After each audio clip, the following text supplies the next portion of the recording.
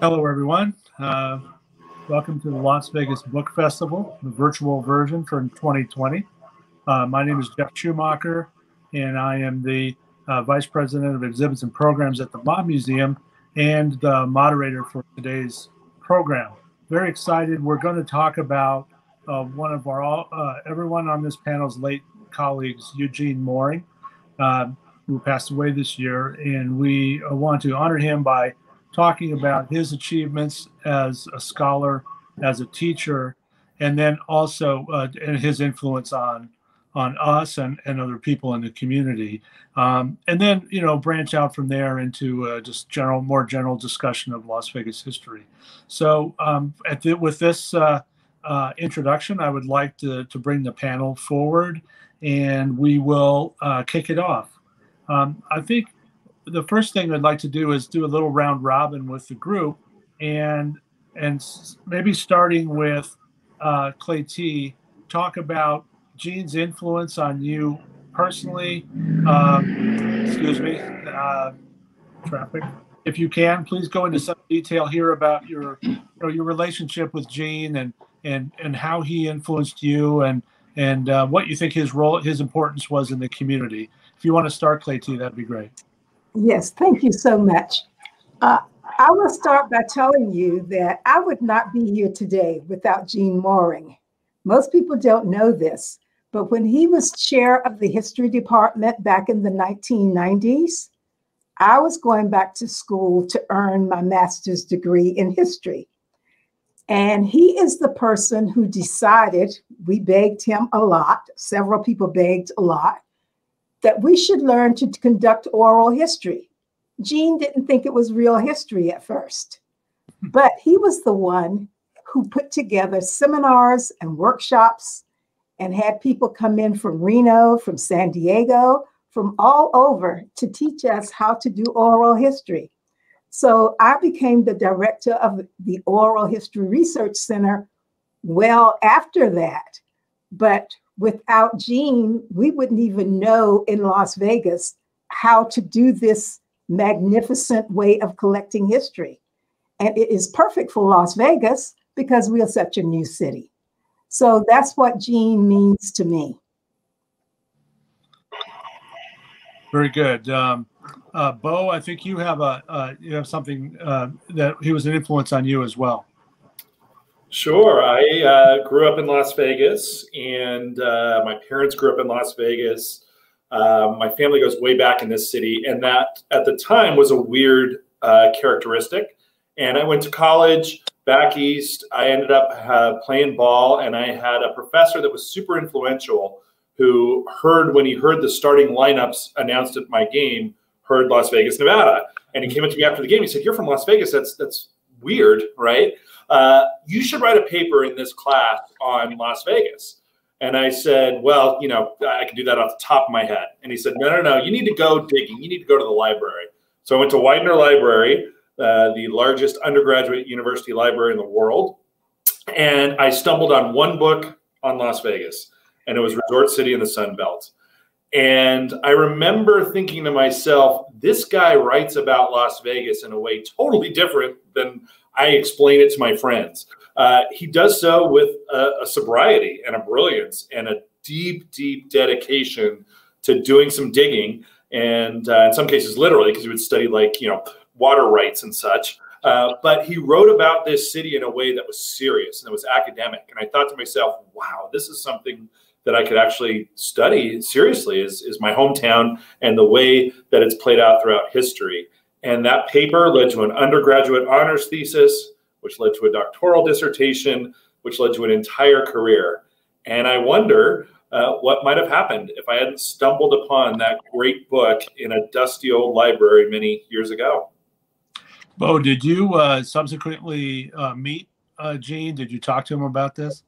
Sure, and, and as you can imagine, I mean, again, growing up in this city, uh, you know, you'd meet your sports heroes from times to time to time. You, you run into, you know, boxers jogging in the streets uh, or a running rebel on occasion. But when I met Gene Moehring when I first started at UNLV, it was you know it was like meeting one of your heroes of course and then gosh ultimately to become a colleague of his on the faculty when all of it started uh, with Resort City and the Sun Belt. It was just a tremendous honor. And of course, he was such a giving, giving teacher um, that, uh, you know, it, it enabled me all these opportunities to learn from him in a more direct way through conversations. Excellent. So, Michael, I wonder if you could, um, in addition to, to answering that the, the question uh, posed, also just give a little background on Gene. I mean, it'd be nice to, uh, for those who don't know who he was, to understand a little bit more about his background and and uh, his role at UNLV.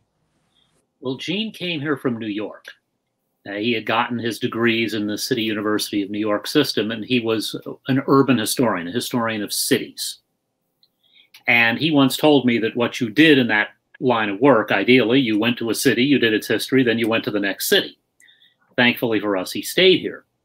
He studied with one of the founding fathers of his field, a guy named Richard Wade, who wrote a, among his books a study of how cities were crucial to frontier settlement. We think of the frontier as the Wild West. And Richard Wade said, no, uh, we are talking about communities. Gene's second reader, as we call him on the dissertation, was Arthur Schlesinger Jr. And Gene even got to edit some books with Schlesinger. And from Schlesinger, uh, I think he picked up this belief that history needs to be written clearly. So uh, Claytee will vouch for this. Uh, I have term papers with a bunch of address labels on them with red ink, where Gene would write in over what you'd written to say, no, no, no, no passive voice or anything like that. He came to UNLV in 1976, and he was always very proud that he succeeded John Wright, for whom the history building is named. And Gene taught at UNLV for 40 years. Soon after coming here, he figured, I'm going to do the history of the cities, I'm going to do the history of Las Vegas, and began his research, which culminated in the book that so influenced Bo and has influenced me and everyone else on this panel. And uh, Gene ended up retiring after 40 years, and uh, sadly, uh, his life ended too soon uh, for him really to enjoy his retirement. Uh, but he left quite a legacy for us, and it includes the fact that we have a PhD program in the history department. He was instrumental to getting that started, in addition to getting the department into oral history, as Claytee discussed. And Mike, in terms of your relationship with him, what um, uh, you know, you were you were a young budding historian, and, and Gene was a little bit more of a veteran. What, uh, how did that work out? This is tough for me to talk about. Uh, I had my first class from Gene when I was an undergraduate. I had him as a grad when I was a graduate student, and he went from being professor and mentor to friend, colleague, uh, co-author, and co-conspirator. And uh, I have to say that uh, that is not something that every student gets to have with a professor, and I'm grateful that I had that opportunity. But Gene was the student's advocate. I mean, he was eternally pro student. And the other thing that was fun about Gene, to convey something that's more personal, uh, Gene, for years, the joke was that he would dissolve if he was out during the daytime. Uh, Gene was an absolute night owl. And we figured out that he and I could get together for a meal, his lunch and my dinner. And every time uh, he was going to lunch, it was four o'clock at a restaurant across the street, which was then JoJo's. And so I would join him, being a single young guy with nowhere else to go. And uh, we would eat there together and talk about everything from history to departmental stuff to everything else. So it was a closer relationship, I think, than a lot of students get to have, and it has meant a lot to me over the years. Excellent. Um, Larry, uh, now we should let people know that you're you are a Las Vegas historian of a little different sort because you live in Missouri, and mm-hmm. you you have studied many things uh, not about Las Vegas, but you discovered Las Vegas somewhat later in your career. Can you talk about that and then also how Gene fits into that? Absolutely. I, I really was intrigued by Bo's story because we have a similar introduction to Gene Moehring. I was a historian of uh, English settlement in the colonies, and I was doing research on the island of Barbados in uh, early 2000. And I'd been coming to Las Vegas as a tourist since 1992, and I began in the late 90s to try and find out a little bit about Las Vegas history because I knew very little. And I read bits and pieces, and I finally decided I need to read a scholarly work. And the one I, I bought was uh, the same one that Bo did. And I brought it with me today because this is the book I took with me to Barbados in 2002 as I was finishing my research for a book that, that came out in 2003. And each night, after I'd done my research and had a nice meal and walked along the beach, I went to my room and I opened up this book and I became so enlightened about Las Vegas history. And anyone who knows anything about what I've published in articles and books knows I'm intimately interested in how did the city promote itself from 1905 to the present. And I remember that I had jotted down some notes in reading this on the island of Barbados. And the reason I brought this with me is that the first note I have after reading this book in my hotel room in Barbados was following his lead on page 67 how over time has Las Vegas sold itself? So the, the seed for my interest in, in Las Vegas history began by reading Resort City in the Sun Belt. Now, I never got to know Gene very well personally. We had uh, one phone call. I had three conversations with him in person, and then we exchanged several emails. So I, I knew him really just professionally and not personally. So I have to rely upon my co-panelist, the personal side of, of Gene Moehring. Thank you, Larry. Um, I want to um, talk about the book a little more, um, even though we've touched on it a few times. Maybe maybe start with Mike on this one, and, and we can go around the group. But but so, what are the attributes of Resort City in the Sun Belt, um, and and how does it fit into the the sort of body of works about Las Vegas history? Well, I think it's the beginning of the body, if you will, on a scholarly level. It's the first full scholarly history that we have. We had some fine histories before that. Gene brought in the footnoting. Uh, he brought in the depth of research that earlier works had not achieved. And so I think what Bo and Larry say is very appropriate. That what you find is the a lot of the work on Las Vegas growing out of Resort City in the Sun Belt.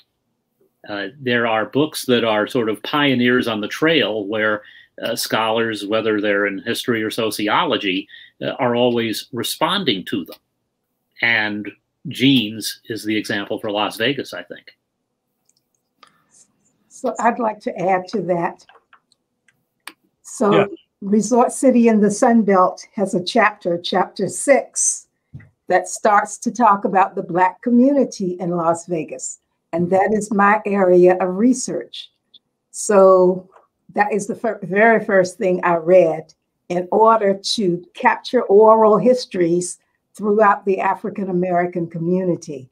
It was concise, it was in great uh, detail in a way, it was very well documented. So I had all kinds of sources that I could now go to to actually dig deeper into the research. So Gene's book did all of that for me. And it talked about places and people that I would have never gotten to know. Could I jump in, Jeff? Yes, please.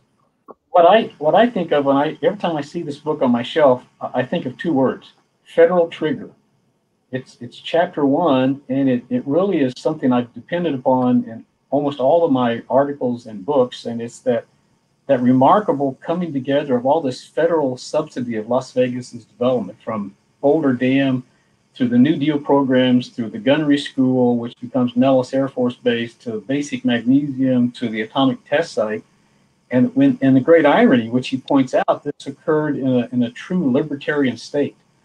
A true libertarian state and, and Clark County and Las Vegas dependent upon so much federal subsidy. So that's that's always my my my default thought about this book and it really has had an impact on what I've written. You know, Larry, that was uh, you're absolutely right. I mean, from and uh, I have a experience much like yours, Larry, and and that you know, reading Resort City in the Sun Belt was sort of the the uh, impetus for me to write about Las Vegas uh, as well, sort of picking up where he left off in 1970 with a little bit more of the modern era. Um, but it's that federal role that I, I feel like it's, it probably is not revolutionary. I mean, it, it happened in Phoenix and Tucson and Los Angeles and, and other Western cities. But the fact that Gene picked up on that uh, seems to me to be a significant uh, a historical trend that, that he identified and that was so true for Las Vegas. Do you think that's true, Mike? I think it is. And, you know, there have been histories of other cities in the West. And one of the things that Gene conveys in Resort City in the Sun Belt, I think, is that Las Vegas is like everywhere else and nowhere else. Uh, we are, after all, a Sun Belt city, a southwestern city, and there are aspects to that story that are true everywhere else in the Southwest. But Las Vegas being a tourism city and a casino oriented city, that makes things different. So he brought in those comparisons. But when you look at these cities, I remember at one point he and I were working on a an edited volume we were contributing to, and I was doing the Jewish community, and I was looking at the work on the Jewish community in Tucson, and it was essentially everything that happened here happened 40 years earlier in Tucson. Uh, we were a younger city, and at the same time, Gene could look at those areas and those works, and it helped inform what he was doing here. Yeah. And I think too, Jeff, if I can jump in here, I think, of course, you know, the, the story has been written about Phoenix. It has been written about Tucson. It has been written about other Sunbelt cities. It was just that it was so unexpected for it to be true of Las Vegas, where the public had this very specific narrative that had nothing to do with the sorts of things that Gene brought to light. Uh, and I can speak about how that affected me personally because I remember reading Resort City in the Sun Belt for the first time, again, as an undergraduate many years ago, and thinking, this is what I've been trying to explain to people as somebody who lived in Las Vegas, grew up in Las Vegas. So many of us have had the experience where we try to explain to people that there's more to this place than the Strip or Fremont Street many, many, many books had been written on the Strip and Fremont Street. And as a result, the public imagination was that this was a city of a street or two. But Gene told the story of a community well beyond that. My grandfather, my father's father, was a military veteran who came out here after World War II because he had an arthritic knee and the dry climate was better for it. And then he got a great job out at the nuclear test site that he took the bus out to every day. Gene wrote about each of those aspects, right? From like, you know, the dry climate to, again, the federal trigger to the transportation system to the relationship with, uh, you know, the military. All of those things were, were everyday things that my grandfather embodied, but that nobody was writing about. So once more, I think what he did once more was he, he brought a level of sobriety to a city uh, about which few are sober. Well, and, and I'll throw in in that regard that there are other works Gene did that contributed to that. Uh, the university asked him to do uh, its 50th anniversary history. And Gene's joke about that was that what he didn't put in would have made quite a book. Uh, since we all had to live on campus after that book came out, a few things he could have gotten into and didn't. And he did a history that compared Reno and Southern Nevada, and he called it a tale of three cities because he was arguing that the city of Las Vegas and the Strip are different. And we need to grasp those differences. So, Resort City in the Sun Belt is the true pioneer on the trail. Uh, at the same time, he added to it later. And I think um, something that you know Bo is sort of alluding to that I, I deal with quite often in my work at the Mob Museum is the this lens that people at the museum see Las Vegas through, right? They see Las Vegas as having been built by the mob, and uh, and that the mob controlled everything, and that uh, the you know we, we want the mob back because it was always better when the mob was here, that kind of stuff. And and I'm constantly you know, battling that, you know, sort of balancing that with with Gene's Gene's perspective, which is, you know, the mob could not have built the water system that came that, that created Las Vegas. They could not have built the highway to Los Angeles You know, it could not have built Hoover Dam. Uh, all of these things that that really have nothing to do with the mob, and and uh, so uh, that's why it's important. That's one reason it's important, I think. Um, Gene, you know, we've talked about Gene the scholar, Gene the author. Uh, Gene was also a teacher, and uh, 40 years, and um, uh, I wonder what he was like as a teacher. He won several awards uh, for being a teacher, and uh, he must have been pretty good at it.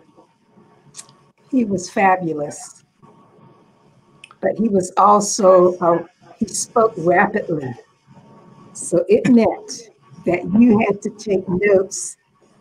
You, you couldn't you couldn't even smile at your, person sitting next to, let alone have a side conversation. None of that. You had to write every second you were writing because he expected you to take those facts he was giving you. And when, when he gave you an exam, then you could do an analysis of that and could answer his questions. But you had to be in class. So you had to use the books, you had to use those lecture notes, and then you had to think. You had to be a critical thinker in order to pass the exams. So you had to do it all. Gene expected it, and he, he didn't repeat himself a whole lot, and, and we didn't have any recorders, so we just had to do it. Well, and I'll throw in that uh, Gene, in his upper division courses, like the history of cities in the U.S., mm-hmm. he wasn't big on textbooks. He wanted you to read studies of the field. Yeah. So he served as the textbook.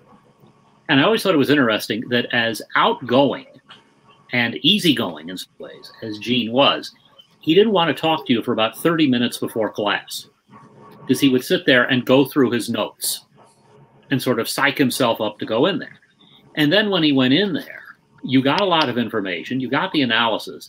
He was also the opposite of a word that rhymes with boring. He was not boring. He was also a great storyteller. And I confess there's plenty of stuff I'm still using uh, that I got in his classes. And he would tell about things that happened to him as a Las Vegan uh, that helped in some ways explain the city. And uh, I'll use one. Gene lived behind Sunrise Hospital at one time in a townhome. And he told the story that one day he's outside washing his car, and the guy from the next condo is also washing his car. And he was a casino dealer somewhere. And I'm sort of prick up a little because my father was a long-time casino dealer. It wasn't him. And Gene said, and he had the radio on on top of his car, and it's playing music, and all of a sudden it stops, and you hear this is a CBS News special report. Emperor Hirohito has died. He will lie in state at the Imperial Palace. Gene said the guy turned and looked at him and said, These hotels will do anything to attract Japanese tourists. Now, what that gets to is something Bo talks about growing up here and dealing with, and I dealt with growing up here, which is we're like everywhere else, and we're also like nowhere else. Only in Las Vegas would you hear a line like that. But that's the kind, and these things, mind you, could happen to Gene. Gene sometimes managed to attract strange things happening to him. But I'll say another thing about Gene as a teacher that I think is important. He believed in stretching himself. He came here to teach the history of cities and the history of science. And his dissertation was on 19th century public works in New York City. He ended up teaching courses on America since World War One. He ended up teaching a course on families and their histories, business history. Uh, he believed we owed it to our students to be as diverse in our approach to history as possible. And that's an important thing about him, too. Absolutely. Um, you know, I want to uh, transition just a little bit. You know, Gene will play into everything we're talking about, but um, you know, I think it's interesting that Las Vegas is has become just the city, you know, this this community is a significant area of study, whether you're looking at it from a historical standpoint or political, sociological, probably psychological. Um, there's only a handful of American cities that you can say that about. I imagine that there are, you know, a half a dozen or more historians who spend the bulk of their time talking about Las Vegas or talking about a city. Um, what is it about Las Vegas history that draws so much interest? Do you think? Maybe it maybe it start a little bit uh, strangely. I start with Bo because even though you're not a historian per se, you you talk to a lot of people, you meet a lot of people. What is it about Las Vegas that history that, that draws yeah. people? So I, am a sociologist, and so I view things through sociological lenses by training. And I think part of it is that Las Vegas reveals so much about us sociologically as a society. As a so, for example, um, when it comes to race relations or gender in society, um, or the shifting dynamics of America with immigration. Las Vegas often reveals who we are before the rest of the world starts to think about it. So whether it is the Mississippi of the West deserved reputation that we have, and that Claytee and and uh, Michael Green have written about so extensively. Know, Gene wrote about that, and it really revealed once more the ways in which, as Michael keeps putting it, Las Vegas was just like the rest of the country, albeit in a way that was incredibly illustrative and I think poignant to people. Um, the stories of Sammy Davis Jr. performing to sold out crowds and then he, then having to leave because he couldn't stay at the actual hotel at which he was performing. That had a way of illuminating, uh, which is ironic because Las Vegas is a city of lights, right? Sociological issues for people in a way that people like Gene Moehring could really tell well. And so, once more, I think it's because it's such a, a fascinating human study, human laboratory. It, you know, Las Vegas is a place where you love to sit on a park bench and watch the humanity roll by, right? It kind of it brings out the sociologist in all of us. What was unique about Gene was that once more, he refused to get caught up in sort of uh, the Hollywood version, but instead, real his scholarship was so rigorous, was so so in depth, and he gave us a methodology really um, that hopefully lives on long uh, past his passing. Larry, what do you think? What's uh, why? Yeah, that, that's so this was something that I was very interested in when I was working on a book that I called Bright Light City, and I wanted to get a sense of how have people viewed Las Vegas over time, whether it be historians or journalists or just tourists. And what I discovered very quickly is that most people have a very superior attitude towards Las Vegas. They're, they're either dismissive of Las Vegas, it's not Chicago, it's not New York, it's not Cleveland, it's not a real city, or they have this um, caricature of Las Vegas. Las Vegas is uh, a den of iniquity. Uh, people only go there so they can sin, like they would not sin at home. You don't go to Las Vegas to see uh, great art. You don't go to Las Vegas to hear a great symphony you go to Las Vegas for vice. And I found that was ubiquitous, whether it's the 1920s or the 1950s or the 1980s. And it, it's this um, sense of Las Vegas from whether you're a Midwesterner or someone from the East Coast, that it's somehow a, a renegade city. And I, I was intrigued by that, and I, I, I wanted to understand it as, as best I could. So I've had to go to Las Las Vegas 64 times to do research, try and understand all that. But I think what attracts people the most to Las Vegas is that they want to understand how it is different than any other American city. And we have those people coming. I work in an area in the library here at UNLV called Special Collections and Archives. We have people coming from all over the world who want to write about Las Vegas. And they just they they want to write about it, but they also want to to film it. They want to do documentaries and movies and they want to show this thing to the world that they found. So not everybody succeeds, of course, but people come here and they do all kinds of research. They they love the city and they hate the city sometimes but they are fascinated by it no matter who they are and what topic they want to research. So they come here and they ask us all kinds of questions and they're just they're just intrigued by this city. And of course we adore it. So we just love talking about it. I have to give you a chance, Mike, to, to chime in on this, and I'll I'll wrap up on this topic. Well, I, I'm also reminded of a story I heard in graduate school after getting my MA at UNLV, and Gene loved the story. And it was a professor who'd written his dissertation on Alabama in the Civil War and Reconstruction. And he visited our class, and we said, Well, do you have any advice? He said, Yes, don't write a dissertation on Alabama he told about another historian who was doing a dissertation on Georgia, where he was evaluating these two counties to compare them. And he chose two counties within an hour of Atlanta so he could stay in the city at night. And that was essentially Gene. Gene wanted nothing to do with a small town. But eh, part of the attraction is that Las Vegas is itself an attraction. And then you have the people who either want to look at it just as an attraction or want to try to figure out what's behind the attraction. And that combination brings us, I think, a lot of interest that we might not otherwise uh, have or get. Yeah. I, I agree with that. I would I would add one thing, which is, you know, over the years I've observed, and as we all have on this panel, you know, what I call parachute journalists who come in for a couple of days and they they walk away. I don't care how how reputable their newspaper or magazine is after two days, they understand the city perfectly, and they're going to tell you all about it in yeah. 3,000 words of uh, creative fiction. And um, and, and th- that's where you know some the books like Resort City in the Sunbelt come in because I, there needs to be a corrective, you know, for that kind of work.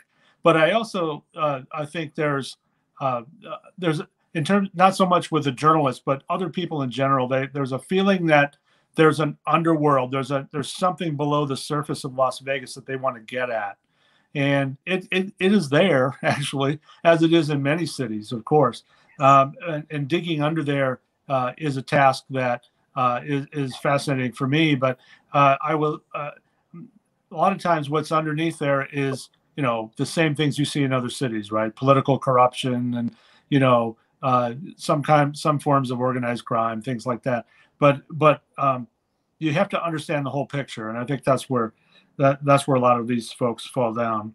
Um, so I want to ask about um, which areas of Las Vegas history have been well covered by historians. We've talked about Gene's book, of course, Michael's work, etc., Larry's books, um, and and which areas still need to be studied in greater depth. So, you know, what what have we done well? What do we still need to do? So I haven't written my book. That's right. There's one. There's one. So and and that book should be written.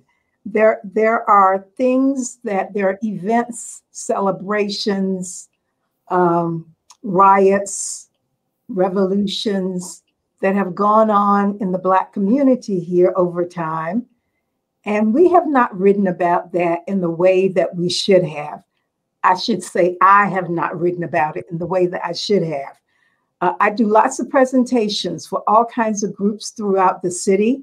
The last presentation I gave was online the other day to Microsoft in Reno. Uh, people at Microsoft in Reno came there from Northern California. They don't know anything about Blacks in Las Vegas. So their, uh, their equity committee wanted to talk about racism and race in Nevada. And so there's just so much to be written that we still need to do. And so I'm going to have to retire and do that. Mike, what do you think? Well, first, I don't think Claytee can retire, but her book will be the book. Uh, years ago, somebody asked me about doing a history of Henderson. And I said the rule in the history of Nevada uh, traditionally has been either it hasn't been done or it's probably time that we redo it. And I think there's a lot of that with Las Vegas.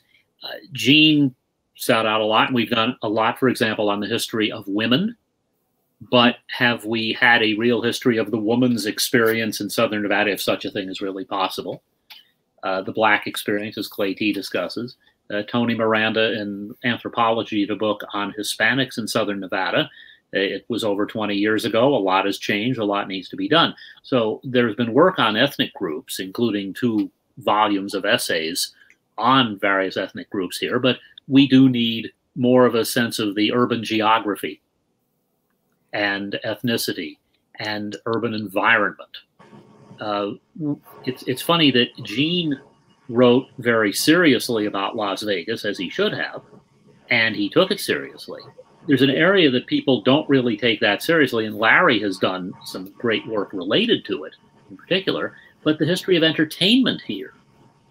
Uh, that in itself is a history, not just, oh, Frank sang this here, but the workers. Uh, we've had great work on showgirls, for example. What was it like to be an employee in the casino and in the back of the house? We know a lot less. So there's still a lot of terra incognita out there. So and so and so Gene helped to start oral history here. And we've done oral history projects on the Asian community. We're starting that one right now. We've done the Latinx community, of the Jewish community. So when people now come here to write about all of those communities, well, we may not have books on, but we have oral history. So you can go to those histories and then you can go to the person and even talk more about the history of all of those enclaves that you might not even think about when you're talking about writing a book.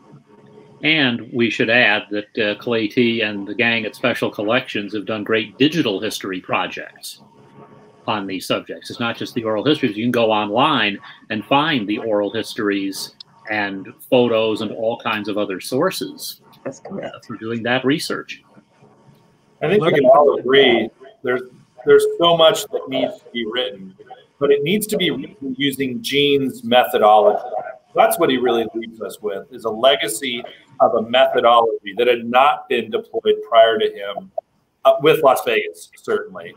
Uh, I remember again when I first came across Gene's work, I went to my professor who said you should write the paper on Las Vegas, and I said, "Yeah, let me tell you about this spectacular volcano that explodes every half hour on the half hour, and there's going to be a new pirate battle down the road."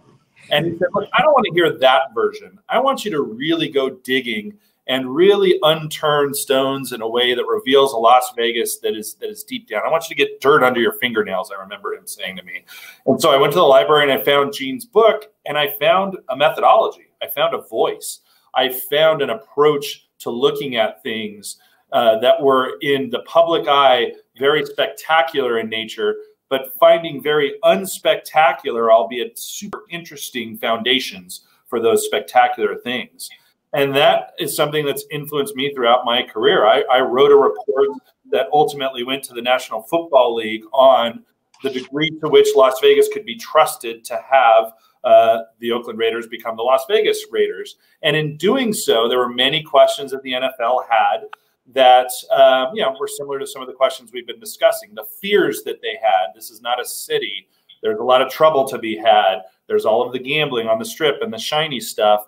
And I started to do some digging and found that, for example, one of the metrics that uh, people use when they're looking at whether a city is a connected community or not is the number of uh, of guard gated communities or gated communities overall. And Gene had done that. He had gone to measure uh, the number of gated communities in Southern Nevada, and we found that Southern Nevada had the same number of gated communities as Denver, as Phoenix, as San Diego, as Seattle all of which, of course, already had NFL teams. So if the NFL was really worried about Las Vegas not being a real city, they should have been worried about these other members that already were members of the NFL family. Larry, I'll let you wrap on this. Yeah, my my answer to that is uh, I'll take Gene's work as as a point of departure. One of the last things he did was a, a really fine article on Mayor C.D. Baker, uh, mayor in the 1950s. When I read that, I initially read it, I thought, well, why should we spend so much time on a one, two term mayor? But then it struck me that one of the areas we haven't done very well is who are the community builders of Las Vegas? Who are the political leaders over time? Who are the educators? Who are the lawyers? Who are the physicians? who are the architects, who are the uh, nurses, who are the journalists, who are the city club leaders who built Las Vegas. Uh, so we've done a lot on the hotel developers and, and the particularly the resort hotel developers and the casinos, but that, that's an area that I think needs to be pursued. So my last two uh, lengthy trips to special collections uh, has been to try and, and, discover who all those people are and, and why did they take leadership roles in, in, building Las Vegas between 1905 and, and 1955. And again, my point of departure was one of Gene's works. All right. Um, you know, one of the things that crosses my mind uh, with uh, with Gene's passing is that you know, um, is there a next generation of of you know young historians who are going to take our place? In other words, is the interest in Las Vegas history uh, uh, passing passing down in the through the generations? And probably Michael and Bo would have the well, maybe uh, wouldn't have the and Claytee would have a good answer on this for sure about like are are you seeing an interest in Las Vegas history and in terms of people uh, uh, writing about it, thinking about it, researching? I think we'll be fine. I, I just, I, you know, I, as somebody who gets the privilege of, uh, you know, standing up in front of a group of young students every semester at UNLV, uh, I can tell you they're they're fascinated by Gene's work because we continually reintroduce it, and that's the beautiful legacy of an educator researcher like Gene is that you never really die because you're read by people who then think differently, who then teach other people, who teach other people, and so forth. So I really I see great work, and it's not always in books um, nowadays. Sometimes it's on blogs, but I think the spirit is very much there, and I, I see it as as just this beautiful legacy of a brilliant educator. What do you think, Mike? What do you see? I see it in the students who come into special collections. We have students who come into special collections to do all kinds of research. And of course, Gene's books are always used by them. But these students are expanding that. They're looking at manuscript collections that we have here in special collections and archives. So they have new sources as we collect additional sources so they have things that we didn't even have 15, 20 years ago. And they now have all of that at their fingertips and they're using it. So I don't think we have to worry about the future. I think it, I think they have it covered. I'll second and third the motions, and I'll say that uh, this semester I'm teaching my first graduate seminar. I have one student who, in fact, worked on the Latinx Digital History Project she is doing a study of the Latina culinary workers in the frontier hotel strike of the 90s. And these are the kinds of subjects we need studied. Another student is doing her paper uh, related to tourism in rural towns in Nevada, and she's mostly looking at rural communities.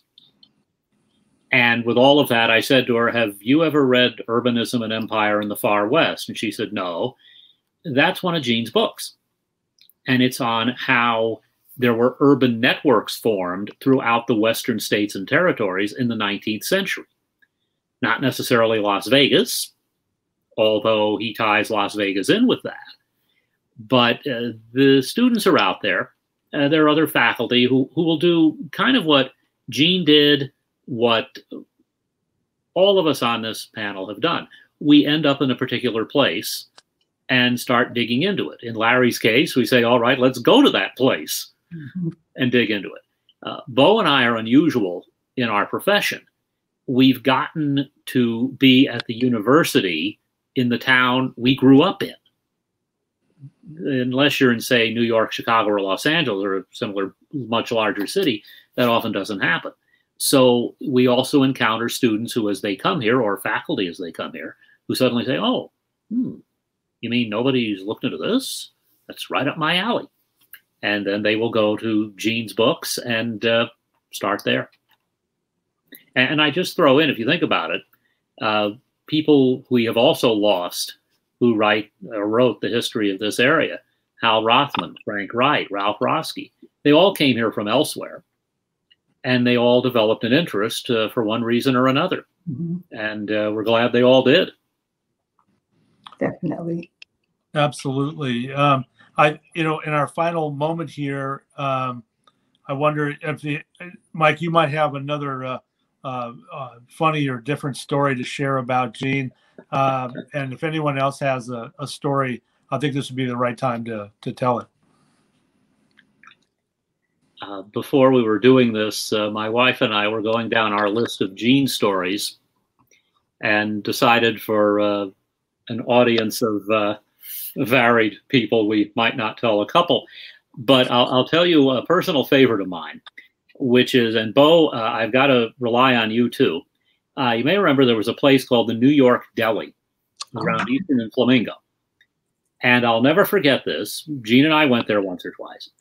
And Gene told the story. He said, "I was there one night, and the uh, the owner said my bagel guy died. What? My bagel guy died." And Gene said he put his knife and fork down. Look, the guy said, "Go to Brooklyn, get a red eye tonight. Get back there, get a bagel guy. You can't survive without a bagel guy." The guy said, "I got one of the only delis in town. I'm not worried." They were out of business within three months. And so Gene would tell you Las Vegas was mostly civilized except for the bagels and maybe a couple of other things. Uh, but at any rate, that, that's what you get uh, going with Gene to eat. Uh, the other thing I'll throw in is that uh, when I would eat with Gene across the street, uh, Gene had a fairly regimented lifestyle. And uh, I think his wife, Christine, both fixed it a little and adapted to it but uh, we would go across the street to, to, eat, and the waitress would come over and uh, greet us, and then look at me and say, "What'll you have?" And I'd say, uh, "Oh, I'll have a burger and fries." She said, "Okay, walk away." Ten minutes later, she'd come back with both orders. And one time we were there, and Gene said, uh, "I don't know what to eat," and she said, "It's Thursday, Gene. You have spaghetti and meatballs." Gene said, "How could I forget?" so. Um, I don't know if there's a lesson in that for us scholarly types or not. But Gene was also a person who enjoyed fine dining. Indeed. When we uh, we found ourselves with him once in Reno, and he took us some of his students to a steakhouse in Harrah's, and it was one of his favorite places. So he had these favorite places in cities that he would go throughout the state, and he knew which steakhouses would have the best steaks which one was more like New York. So he hmm. introduced us to places. If you would catch him in a, in a city, he could introduce you to a fine dining restaurant. So hmm. those are the things that I remember about him as well. You know, Claytee, when he and I were in Reno, he took me for hot dogs. So I'm going to rethink my relationship with him. Too bad, Mike. they were good hot dogs, though. Okay.